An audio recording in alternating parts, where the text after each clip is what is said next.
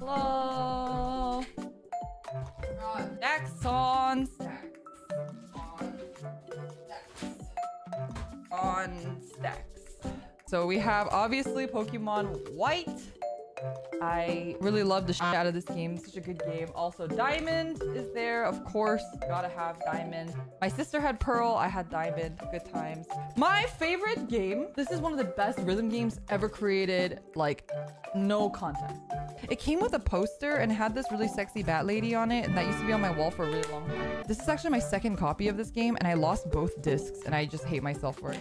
I do really like the Pokemon Ranger series a lot. I even had like a different stylus just for playing Pokemon Ranger. I had a different one too, but I, I like to use the big ones because it gets really like, you have to do this so much you have to do this so much that like you need you need more grip. So I love to pig, so this was this was like one of the ones that I used.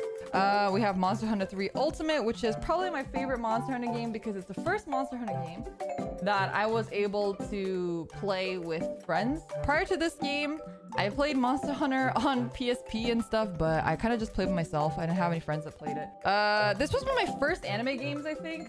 And I was like, oh, One Piece game, cool. And then I played it and I was like, okay, never mind. I'm never buying an anime game ever again. Then uh, we have Pokemon Omega Ruby, we have Pokemon X, and then we have Etrian Odyssey, which made me want to kill myself.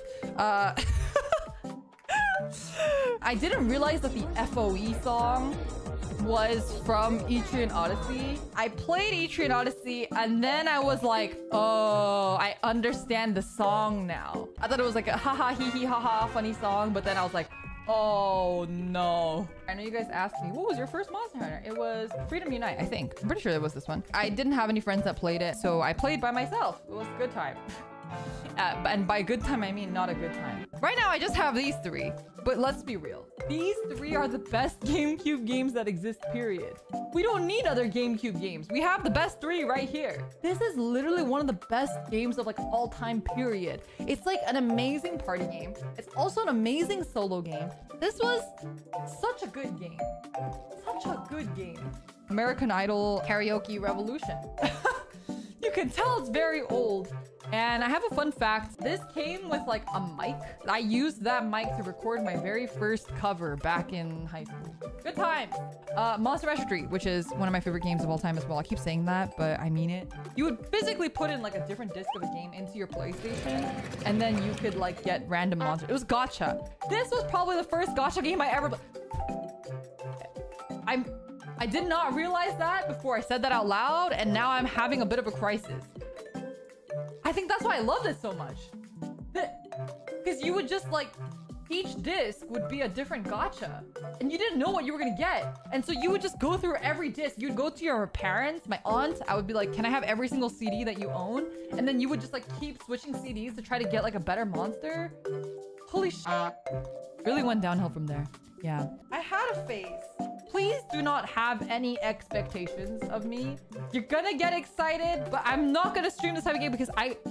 After this phase, I realized that this is not a phase for me to be in. This was not a phase meant for Liora, okay? I had a fighting game phase. So I had Tekken 6, I had Street Fighter 4, and I played both BlazBlues a lot. Uh, was I good at them? No. Did I play a lot of them? Yes. I like thought that maybe in high school that I could be something that I was not.